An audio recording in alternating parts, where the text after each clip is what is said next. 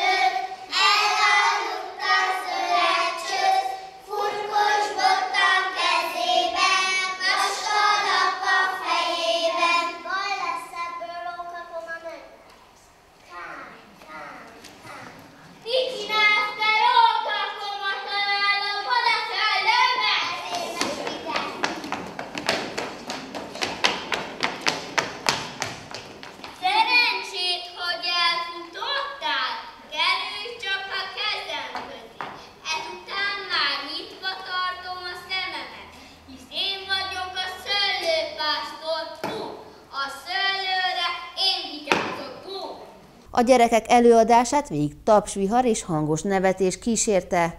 Az Idősek Világnapja alkalmából dr. Bálint József is köszöntötte a megjelenteket. Ősi és érett kultúrákban az öregeket nem azért tisztelték, mert fáradtságos életükkel kiérdemelték, nem is abból a józan előrelátásból, hogy egyszer én is öreg leszek, és milyen jó lesz, ha nem hajítanak majd a szemétre, hanem azért, mert a lélek még érzékenyebb volt, a szellem nyitottabb, és az öregember óriási élettapasztalatával olyan értékeket jelenített meg, amely a fiatalabbak számára vonzó és kívánatos volt. Az öregember akkoriban nem teher volt, hanem felbecsülhetetlen érték, nem azt nézték, milyen mulandó a teste, hanem hogy kilakik benne, írja Müller Péter. Az én tisztem ma délután az, hogy az önkormányzat nevében tiszteltel köszöntsem Önöket ezen a szép ünnep alkalmából. Önök már mint nyugdíjas éveiket töltik, nem azért kelnek fel korán reggel, hogy munkahelyre igyekezzenek, nem nehezül a vállokra a munkai felelősségterre, elvileg nyugodtan élhetnek kefteléseiknek. Elvileg mondom, mert én nem igen találok olyan nyugdíjast, akinek nincs dolga vagy gondja. Van, aki a pénzt a nyugdíj beosztásával küzdik, van, aki a betegséggel, van, aki nem győz a gyerekein, unokáin segíteni, ennek ellenére úgy érzi, hogy a család terhére van, és van, akit egyedül egy gyötör, és sorolhatnám tovább. Pedig az öregkornak számtalan erénye van. Ríman azt mondja, az életkor egyik legfontosabb erénye a igazság, amely türelmesebbé tesz másokkal és önmagammal szemben. Kevesebb indulattal viseltetünk a szokatlan jelenségek iránt, és több tárgyalagossággal ítélünk. Más megközelítésben hasonlíthatjuk az ember életet a négy évszakhoz, de talán legszebben egy fa szimbolizálja a sorsunkat. Először még kis magonc, cseperedve csemete, majd csudár lesz a termete, tele lesz zöld levelekkel, rügyekkel, virágba borul, termést hoz, aztán lehullatja a sárguló leveleit, majd téli álmot alszik. Önök most hol is tartanak? A levélhullatásnál, ami ősszel történik. Ősz van, a természetben is, és van az életutunkban is. Ilyen tájt még bőven simogat minket a napsugár, ebben az időszakban van a betakarítás is. Önök élete is erről szólt. Nehézségek közepette felnevelték, majd útjára bocsájtották gyerekeiket, most pedig unokáik életét egyengetik türelemmel és alázattal. De ahogyan az ősz is lehet borús, bánatos, szomorú, latyakos, az önök életében is vannak nehézségek. Már nem tudnak olyan könnyedén és gyorsan mozogni, hol itt fáj, hol ott fáj, sokat kell költeni a gyógyszerekre is, de a szívük az nem öregszik. Megvívták már az élet nagy merész csatáit. A lelkükben dúló viharok lassan lecsendesülnek. Lehet, hogy a fiatalon az élet becsét nem érezvén sokszor pazarlóan bántak lehetőségeikkel. De az élet adta tapasztalatok idővel bölcsességé nem esettek. Ma már tudják, mindennek rendelt ideje van, és hely van az ég alatt minden akaratnak. Kívánom az idős és szép uraknak, hogy bajaik, problémáik ellenére is élvezzék az életük minden egyes pillanatát, mert hatalmas ajándék az élet, és épp oly nagy kincs az, hogy embernek születtünk. Az év minden napján érezzék a család, a társadalom megbecsülését, érezzék, hogy szükség van önökre, érezzék, hogy vannak dolgok, amit jobban tudnak, vannak dolgok, amit csak önök tudnak. A mai napon önöket köszöntik az óvodások, felnőttek és idősebbek egyaránt, nekik és felkészültek tisztelettel megköszönöm, hogy ismét elfogadták felkérésünket. Köszöntöm végén kívánok mindannyiaknak jó egészséget, boldogságot családjuk körében. Az ünnepi gondolatokat követően a város legidősebb lakóinak kedveskedtek egy-egy csokor virággal. A köszöntések után Komáromi István sláger válogatásait hallgathatta a közönség. Hogy miért, pont mi? Az igazi utalom, a szeretsz, és az igazi a nevetsz. Mit ér a rang, s az oklevél, a szíved, a szíved, a szíved nyújtsd felé. Mindennél fontosabb a kezed. Mindennél fontosabb, hogy veled. S egy kedves szó, s egy bíztatás, és néha, néha méltató szavak. És a zene. Csillogó. Ruhák. És a szemek kocintunk még. És még. És maradunk. Mert ki tudja, ki tudja, hogy meddig. Október 4-én pénteken került sor Kalocsán az Aradi Vértanúk emléknapja alkalmából rendezett megemlékezésre. A 170 évvel ezelőtt történt tragédia áldozatainak történetét a 48-sok terén álló Batyány szoborcsoportnál elevenítették fel. Évről évre a 48-asok terén álló Battyányi szoborcsoportnál gyűlnek össze a kalocsaiak, hogy leróják tiszteletüket az 1849. október 6-án Aradon kivégzett 13 honvédtiszt emléke előtt. A 170 évvel ezelőtt történt tragikus eseményeket elsőként a Déldre gondolatai elevenítették fel. Őszi napnak mosolygása, őszi rózsa hervadása, őszi szélnek bús keserve, egy-egy könyv a szentelt helyre, mit megváltott hősi áron, becsületet, dicsőséget, az Aradi 13. A multidézést Tromsics Imre, a Viski Károly Múzeum igazgatója folytatta. Kedves kalocsaiak, tisztelt emlékező közönség! A feudalizmus utolsó évtizedeiben a kalocsai sárköz jobbátsága is reménykedve várta a jobbátsorsot könnyítő törvényeket. Az 1832-1836. évi országgyűlés alatt és után a kalocsai sárköz legtöbb falujában jobbágy megmozdulások voltak, melyeket a jobbágy törvények félreértése gerjesztett. A bogyiszlói bíró kihirdette a szabad halászatot és fajzást. Hajóson és Nemesnádudvaron megtagadták a robotot. A Nemesnádudvari és a bátyai megmozdulásokat csak katonaság kivezénylésével tudták elfolytani. Ezen mozgalmaknak csekély hatásuk volt, de jelezték a régi rend megváltoztatásának igényét. Fajsz és Ordas hosszas úrbérig perekbe kezdett. Ordas még az 1848-as jobbágyfölszabadítás előtt megváltotta magát a Rudnyánszki családtól. A kalocsai érseki uradalom és az ebből 1835-ben kiváló kalocsai káptalan uradalom helységei is egyre gyakrabban kerestek igazságot földesurukkal szemben. Ilyen volt az 1830-as években több helységet mozgató, de főleg a kalocsaiakat érintő fajzási per, a kalocsaiak bormérési pere, a bogyiszlóiak és a csanádiak kertpere. Ezek a feudális gazdasági viszonyok tarthatatlanságának és a paraszti elégedetlenségnek a megnyilatkozásai voltak. Mindezek után természetes, hogy a társadalmi kötöttségek szétrombolását célzó márciusi forradalom hírét kitörő lelkesedéssel fogadta Kalocsa népe. Az 1848. március 22-i tanácsgyűlés Sauter Gáspár bíró elnöklete alatt határozatot hozott.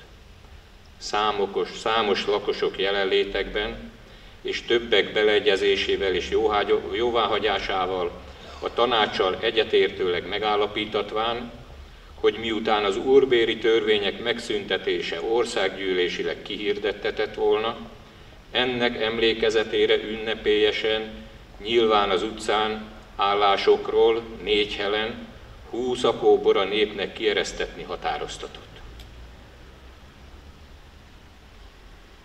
Az ünnepet nem követhették a szorgalmas hétköznapok.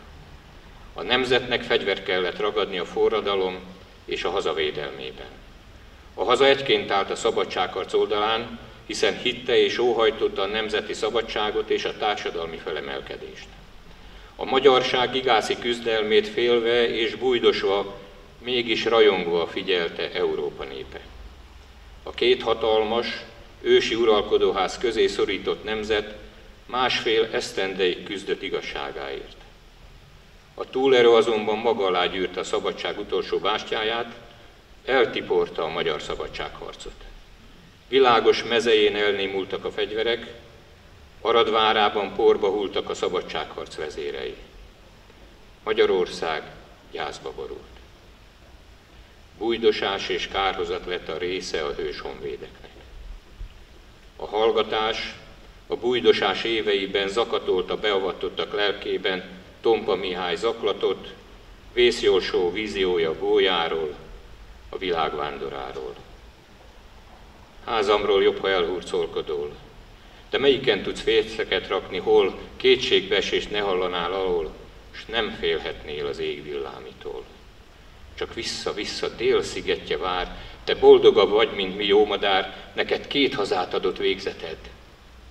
Nekünk csak egy van, az is elveszett.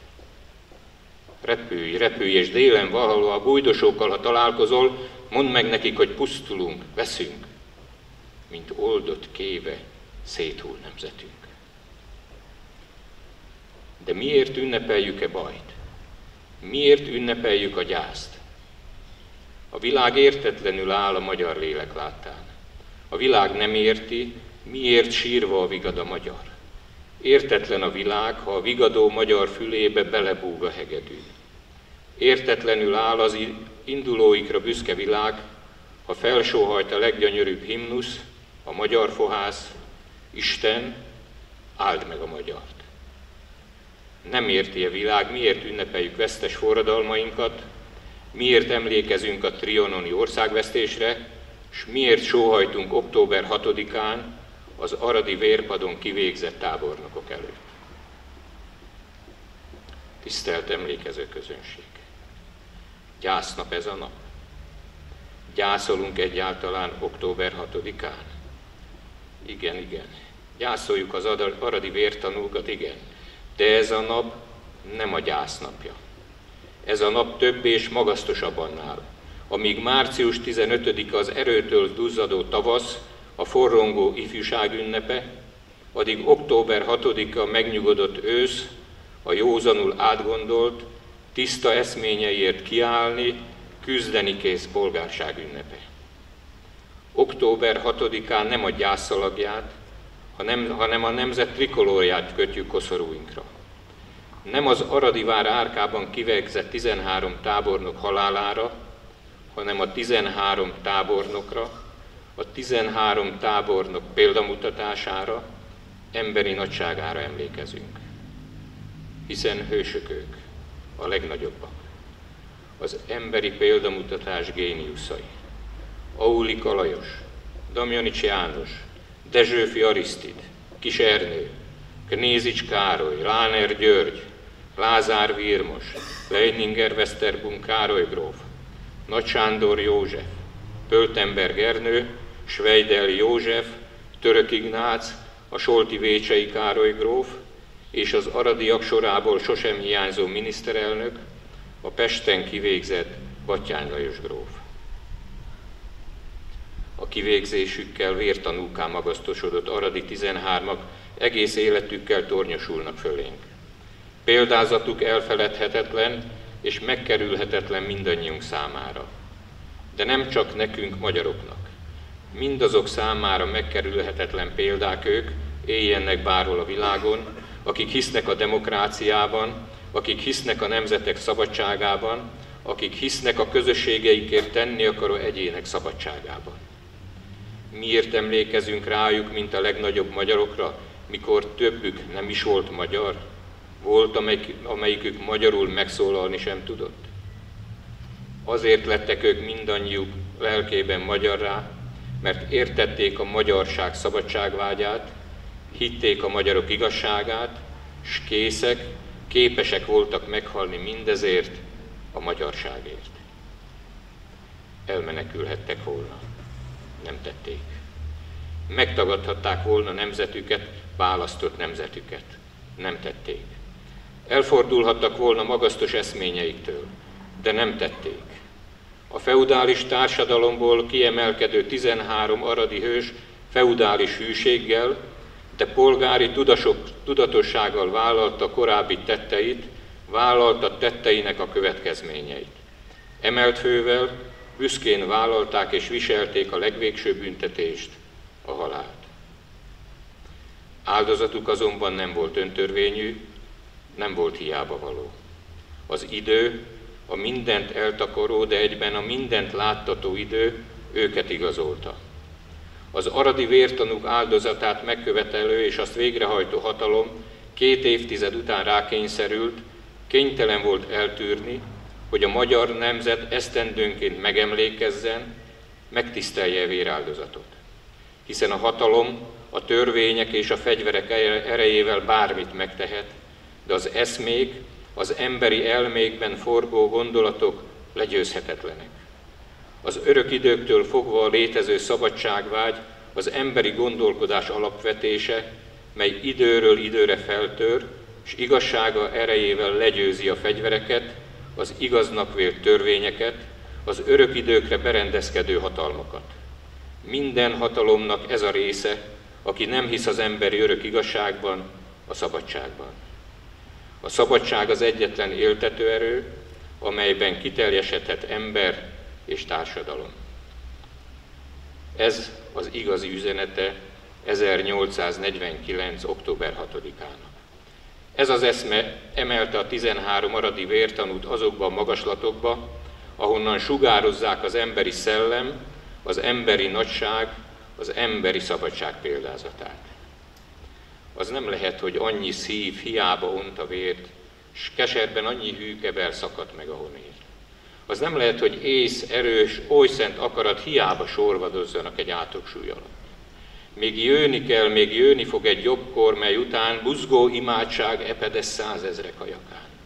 Vagy jönni fog, ha jönni kell a nagyszerű halál, hol a temetkezés fölött egy ország vérben áll. S a sírt, hol nemzet süllyed el, népek veszik körül, és az ember millióinak szemében gyász könyvül. Légy híve rendületlenül hazádnak, ó magyar, ez éltetőt, s elbukál hantjával ezt akar. A nagyvilágon kívül nincsen számodra hely, áldjon vagy verjen sors keze, itt élned, halnod kell. Ezekkel a gondolatokkal és Vörös Marti Mihály szavaival hajtom meg fejem ott Hazaradi 13 előtt. A kivégzésük által vértanukká vált hősök emléke előtt tisztelgők az ünnepség végén koszorúkat, virágokat helyeztek el a Battyányi szoborcsoportnál. Kilencedik alkalommal rendezték meg a Te is lehetnél elnevezésű érzékenyítő rendezvényt városunkban. Az érsekertben megtartott eseményen több állomáson keresztül mutatták be, milyen is a fogyatékkal élők világa. Október 8-án kedden az Érsekkertben rendezték meg 9. alkalommal a Te is lehetni a nevet viselő eseményt, ahol az egészséges és a sérült emberek találkozhattak. A rendezvény fő célja az elfogadás. Ez az integrációról, az együttélésről, a megismerkedésről, hogy fogyatékos emberek, gyerekek, nem fogyatékos gyerekek ismerjék meg egymást, közös programok vannak a számukra, érezzék jól magukat, és lássuk be azt, hogy egyformák vagyunk, különböző segítségre van szükségünk, de szép teljesítményekre vagyunk képesek mindannyian, a fogyatékos gyerekek is, nagyon jó programok lesznek itt egész nap, és ebbe be tudják együtt is közösen is mutatni. A mai nap hát egyrészt a szórakozásról szól, te is lehetsz plakáton, tehát mindenféle versenyek vannak itt, különböző ismeretterjesztő, az Éfoisznak az önálló életvitel centruma például, ahol az önálló életet segíti a fogyatékos emberek számára, azok a képzések kiadványok, aztán a sportról szól, ugye az Oltán Erikáék már bemelegítettek, vagy bemelegítettünk, és a kultúráról. A rendezvény megnyitóját követően a Mi is meg tudjuk csinálni fantázia nevet viselő színpadi produkciók következtek.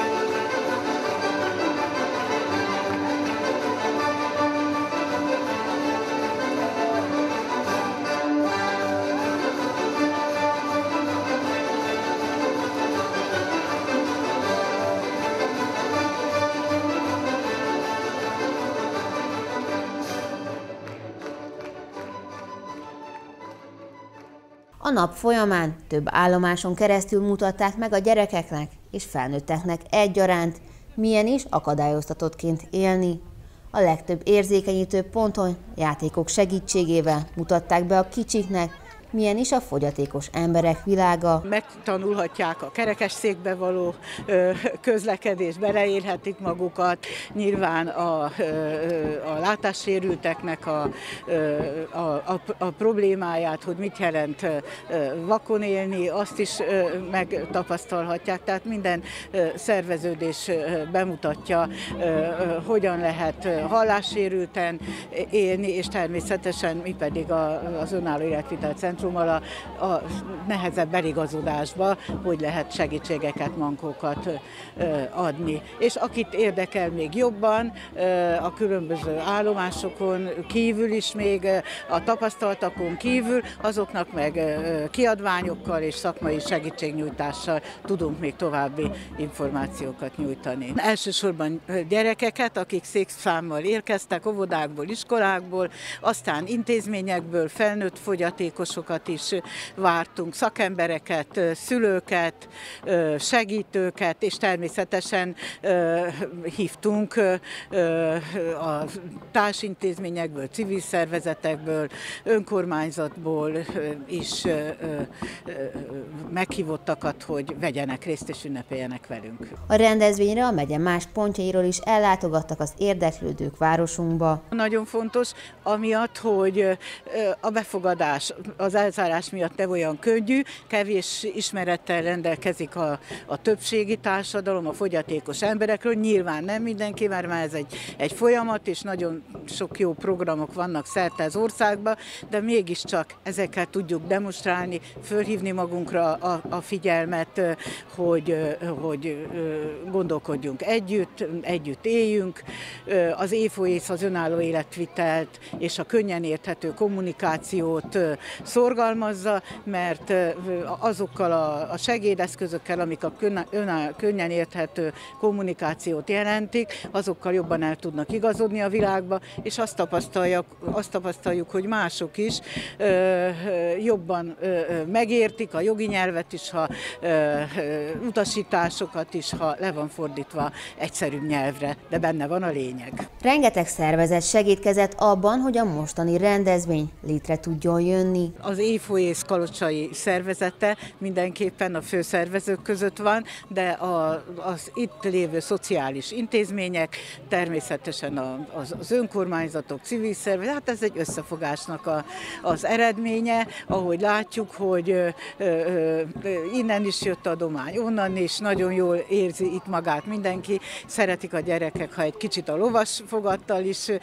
fordulhatnak, azt is köszönjük, hogy társadalmi munkába vagy szeretetből eljött az úr is, és megkocsikáztatja itt, a, akik szeretnének egy kört menni. A szervezők arra is gondoltak, ha esetleg valaki megéhezne, így pogácsával és zsíros kenyérrel várták az érdeklődőket. Köszönöm megtisztelő figyelmüket, további jó tévénézést kívánok Önöknek viszontlátásra!